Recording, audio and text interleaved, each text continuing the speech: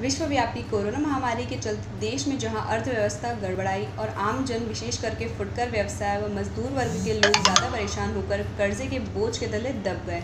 ऐसे में श्री सहस्त्र मुखेश्वर महादेव की पावन नगरी के बैरागी परिवार के प्रकाश बैरागी के द्वारा अपने निवास में कई समय से किराए से रह रहे दुकानदार व व्यक्तियों का दो माह का किराया माफ़ किया, जो स्वागत योग्य कदम है। प्रकाश बैरागी ने बताया कि कोरोना महामारी के चलते जहाँ दो माह तक लोगों के काम धंधे ठप हो गए हैं, ऐसे में अगर मैं इन किराएदार से पैसे ले लेता तो मैं कोई करोड़पति नहीं हो जाता।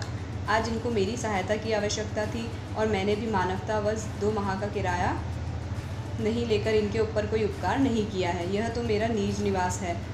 अगर दो माह दुकान या मकान खाली रहता तो मैं क्या करता? बैरागी परिवार की पहल की हर तरफ़ चर्चाएँ हो रही हैं। भाई ये सब मजदूरी करते हैं। इनकी दुकानें दो महीने से बंद है। तो इनकी मजदूरी बंद है इसलिए मैंने ये विचार किया इनको दो महीना किराया माफ़ किया जाए।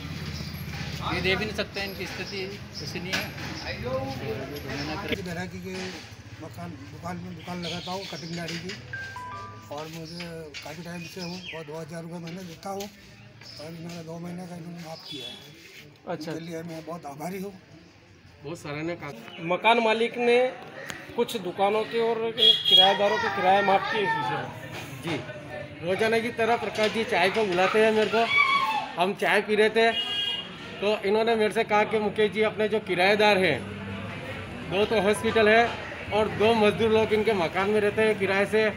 इन्होंने कहा कि मुकेश जी, इस महामारी जो चल रही है कोरोना की, और सरकार ने भी कुछ मतलब मजदूर लोगों का कोई सहयोग नहीं मिला है। तो इनका कहना था कि मैं दो महीने का बिल और किराया मैं नहीं ले रहा हूँ। तो मैंने इनसे कहा, बहुत अच्छी बात है, सराहनीय काम है। और जो इन्होंने काम किया, जो सराहनीय काम किया, इनका बहुत बहुत धन्यवाद है। और ऐसे ही काम करते रहे आगे तो बहुत बढ़िया है अच्छा है। और मैं लोगों से भी कहता हूँ, कोई ऐसा है गरीब आदमी तो उससे किराया ना लिया जाए।